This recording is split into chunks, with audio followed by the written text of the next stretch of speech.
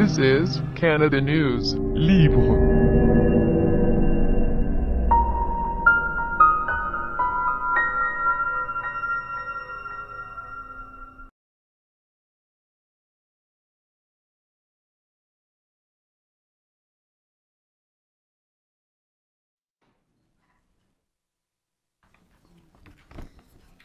Okay, great. Um,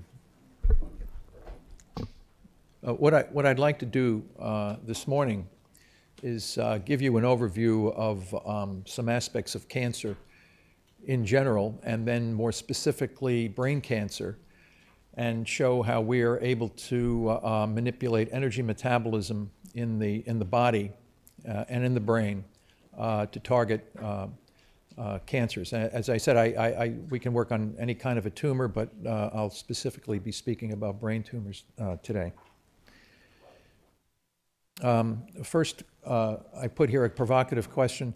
If For those of you who are in the cancer field, uh, you will know that the National Cancer Institute uh, on their website has put 24 provocative questions. These questions are thought to um, uh, direct uh, cancer research for the remain for the, throughout this century and um, uh, stimulate various kinds of approaches and new insights into the disease. However, you will not see this provocative question on the 24 question list, mainly because uh, most people in the cancer field um, have, have already uh, determined that cancer is a genetic disease. Um, the question is, is, uh, uh, is, that, is that true or not?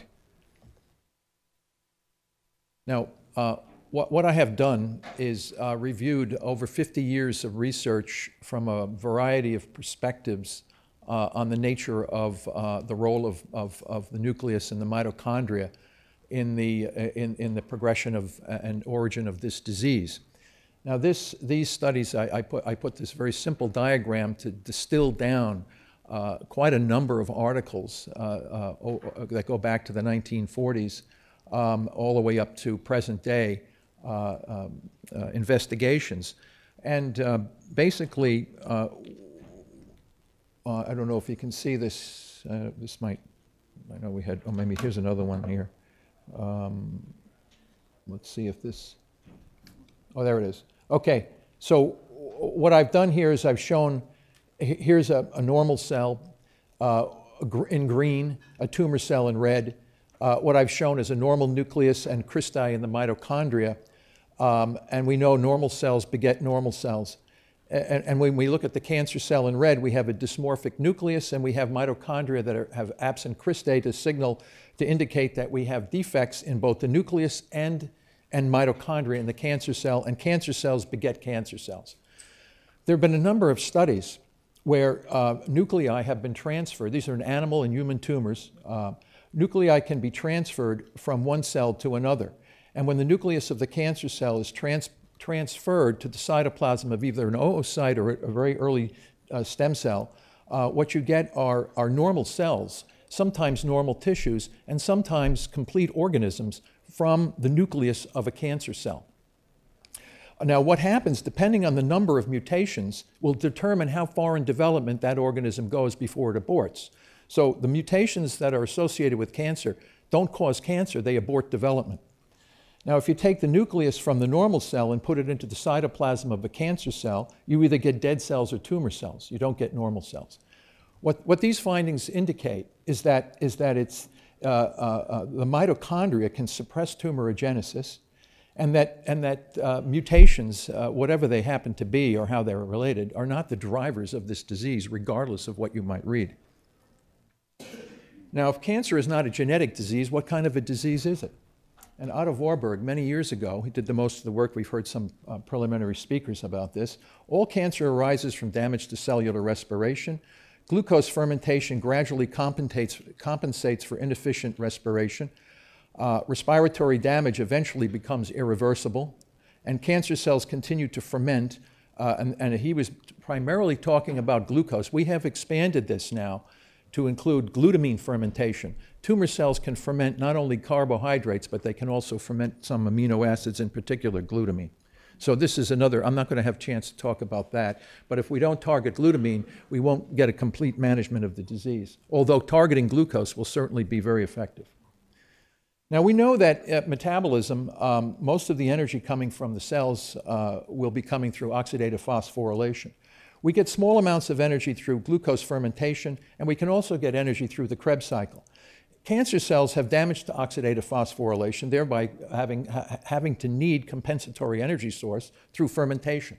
Glucose fermentation goes way up in many cancers, and also glutamine fermentation can go up. So these two sources of energy can compensate for the loss of OXPHOS. So when we look at mitochondria of tumor cells, this is a normal electron micrograph. You can see the cristae loaded, the cristae contain the proteins of the electron transport chain, which, are, which generate most of the energy in our bodies. But uh, you can see here, this is a, a, mitochondria of a glioblastoma multiforme, a brain tumor. You can see its cristolysis. There's many examples I've gone through in my book, many, many, uh, we never find completely normal mitochondria in any tumor cell. And there's no way that these tumor cells are going to be able to produce energy through OXPHOS if they don't have the structures needed to do this.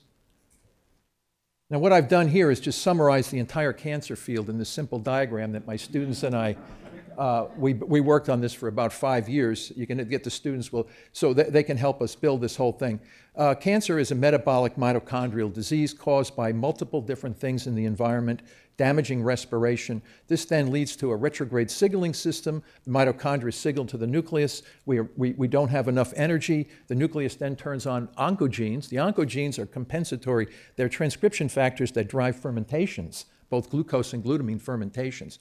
But if the cells continue to ferment, the nucleus becomes unstable. So you get genomic instability as a secondary downstream epiphenomena of damage to respiration. So OXPHOS is gradually replaced by substrate level phosphorylation. Unfortunately, I won't have a chance to talk about advanced cancers, which are basically a macrophage disease. Macrophages use tremendous amounts of glutamine and glucose, so you really have to target to manage metastatic advanced cancer, you have to target both metabolites. Anyway, you can get the entire spectrum of the Hanahan-Weinberg uh, characteristics following this. I'd like to talk now a little bit about brain cancer and, and specifically. Highly, these are highly invasive and vascularized tumors, generally poor prognosis. Incidence may be increasing through cell phone use, but this is only for those individuals that might be susceptible to this. Mo unfortunately, most therapies for brain cancer are ineffective in managing the disease. Two major categories, we have the primary and the secondary brain tumors. Glioblastoma is a primary brain tumor, one of the worst, very low, very poor survival after five years. This is a childhood uh, cerebellar tumor, medulloblastoma. About 22.5%, 22.5% of all cancer deaths uh, come from metastasis, that is, the movement of cancer cells from some other organ to the brain. Now, we have used calorie restriction, restricted ketogenic diets, and these kinds of uh, approaches as a metabolic approach to cancer management. Now, calorie restriction involves a total dietary restriction. It differs from starvation in that calorie restriction can maintain adequate levels of minerals and nutrients. Calorie restriction, uh, if it done the right way and, the, and looking at the correct biomarkers, will enhance mitochondrial biogenesis and increase uh, efficiency of oxidative phosphorylation. It's important to recognize that calorie restriction in the mouse mimics therapeutic water-only fasting in humans. So everything you see about all the stuff that I'll talk about calorie restriction, how do humans do that? You have to stop eating, do a therapeutic fast. So this is because the basal metabolic rate of the mouse is seven times that of the human. So the biomarkers for calorie restriction are reduced blood glucose and elevated ketone bodies. Let me get this, I must hit the wrong. So we know the brain uses glucose exclusively. However, through uh, an evolutionary conserved uh, uh, adaptation to low glucose, we mobilize fats. This is again related to hormone changes, insulin and glucagon, and things like this. And the three major ketone bodies are beta hydroxybutyrate, acetoacetate. Acetone is a non enzymatic uh, degradation product of acetoacetate. So the brain will then transition gradually over to ketone use as an alternative to glucose to subserve energy needs for that organ. Other organs will use ketones as well and fatty acids. When we look at the energy problems in brain cancer, in fact, most cancers for that matter, we have, well, in, in the brain specifically, glucose is the primary fuel. It enters through transporters, goes into the, uh, it goes through the Embden-Meyerhof pathway to pyruvate. Pyruvate in normal cells would be fully oxidized in the TCA cycle. Because all the mitochondrial problems in brain tumors and other tumors, pyruvate then is, is, is uh, fermented to lactate. Lactate goes back into the circulation, goes to the liver, be converted back to glucose through the Cori cycle. It comes back. This is this vicious cycle we just heard about, uh, and some other components of that. Calorie restriction. will lower blood glucose levels naturally. You can bring those blood sugars down, carbohydrates or ketone bodies will then enter into the brain, and then uh, the, the problem is, is the cancer cells, we and others have shown that the tumor cells cannot metabolize the ketone bodies for energy. So what happens then is they be, their main source of fuel, glucose. Not only that, the normal cells upregulate glucose transporters, putting additional metabolic pressure on these cancer cells. They can't use the fuel that the normal cells are using. They become metabolically marginalized. Now, to show you, uh, we've done a lot of work in mice uh, on, on calorie restriction. This showed ad libitum AL is an uh, unrestricted mouse fed ad libitum. This is a 40% calorie restriction over about 12 days, starting three days after tumor implantation. You can clearly see we can get uh, reductions anywhere from 65 to 90% reduction, depending upon uh, how we do this. The important thing is what are the, what are the, what's going on inside the tumor cells? What, what's, we've shown that this is powerfully anti-angiogenic. Blood vessels are significantly reduced in these tumors. You know, you hear about all the antigenic therapies. There's nothing more powerful than calorie restriction in reducing the vascularization of the tumor. It's also proapoptotic. It kills the tumor cells through uh, programmed cell death mechanisms, and we've shown, uh, we've shown that. So you can see the TUNEL positive. These are the dead cells. Uh, uh in, in ad libitum-fed cancer, you don't see as many as you do in the calorie-restricted tumors.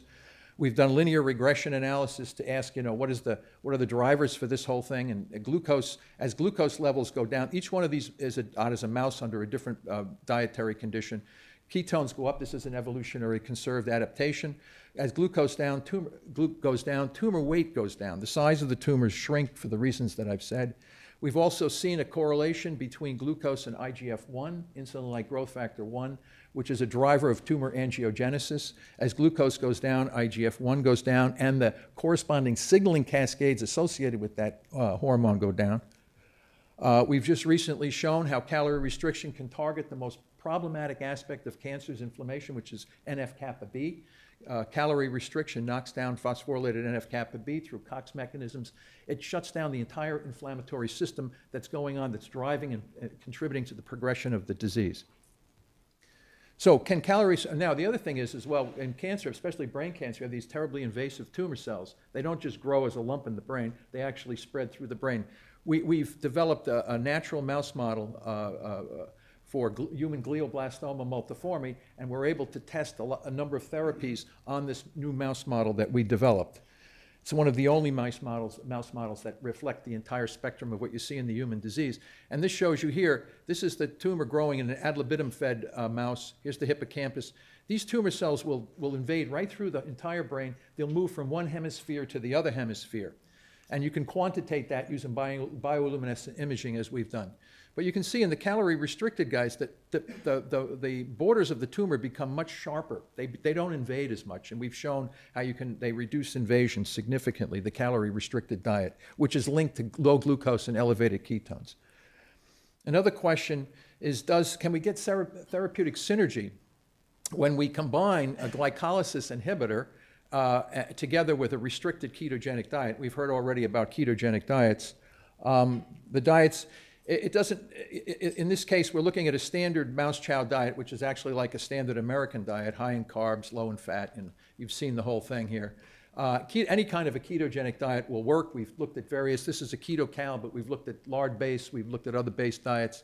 This is a low carbohydrate, high fat, moderate protein. Uh, produces a fat to protein carb ratio of 4 to 1 as opposed to less than 1 for the high carb diet. Uh, 2-deoxyglucose is a non-metabolizable analog of glucose. So what, what happens is a substitution here for hydrogen for a, a hydroxyl group.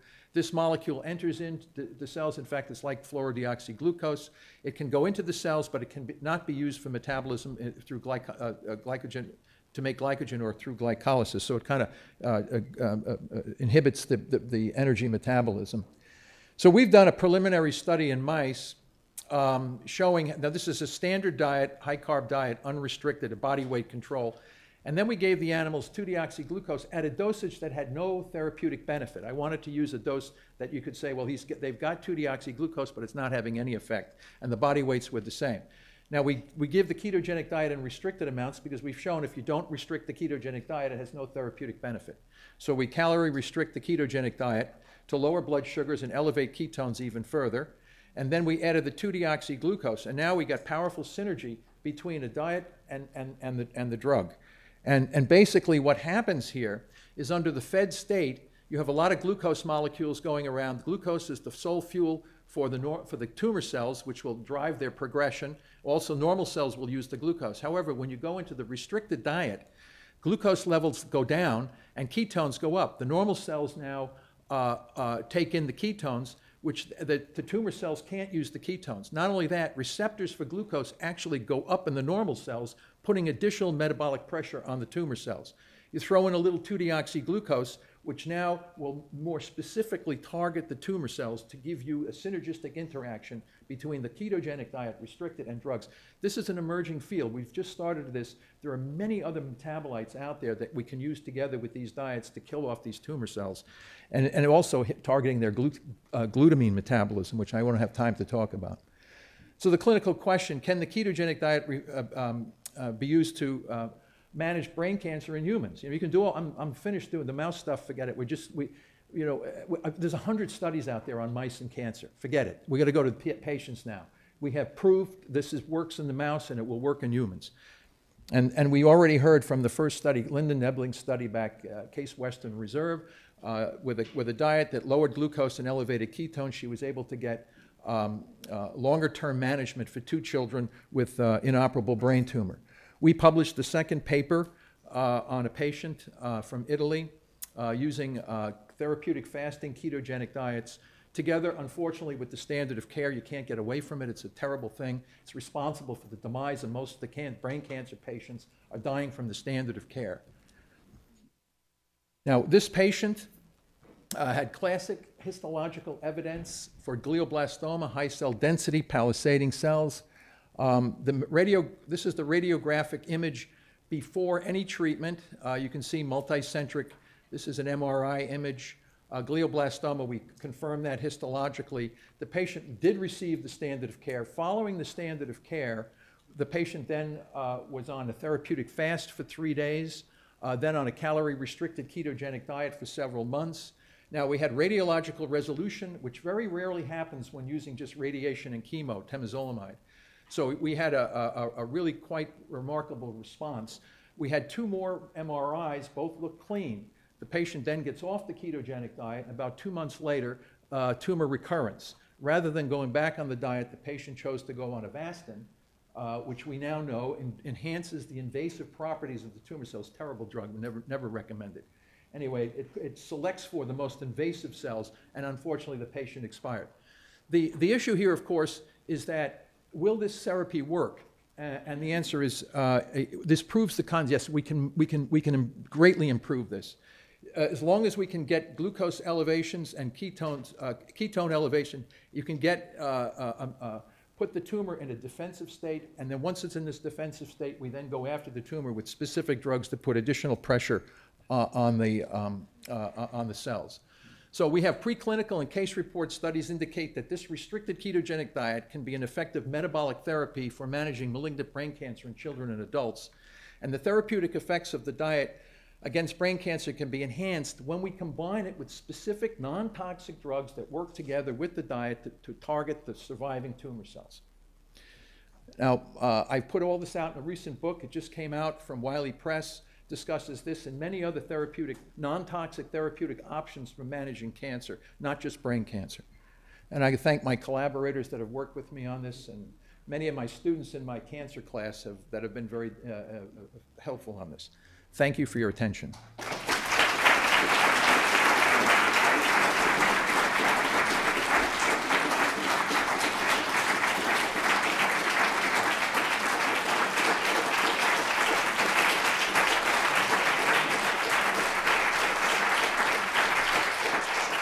Because I, uh, because I'm running this, I'm, a, I'm going to ask the only question.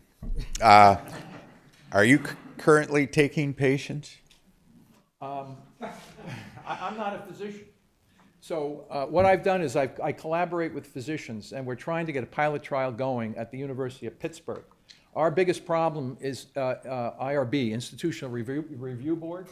Uh, they, they just put so many pressures I mean, this is not a toxic therapy, yet they, they treat it as if, oh my God, all these patients are going to get sick. Uh, um, uh, We're trying to get a pilot study. There's another pilot study at the- at Michigan State University. I, I wrote the protocols for both of these, of the, both of these uh, approaches. It's just very hard to get through IRBs, the Institutional Review Board. Once that happens, I think there'll be a lot more, uh, a lot more use for this. Well, all right, we'll take you.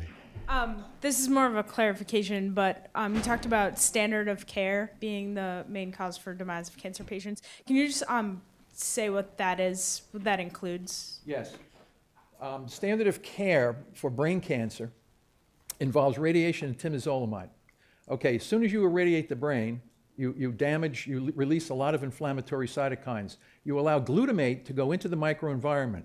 The glutamate is then taken up by glial cells and converted to glutamine. Because the neurons have been killed, the glutamine now goes into the tumor cells and is fermented along with the tumor cells. To reduce the inflammation, they give ster- steroids.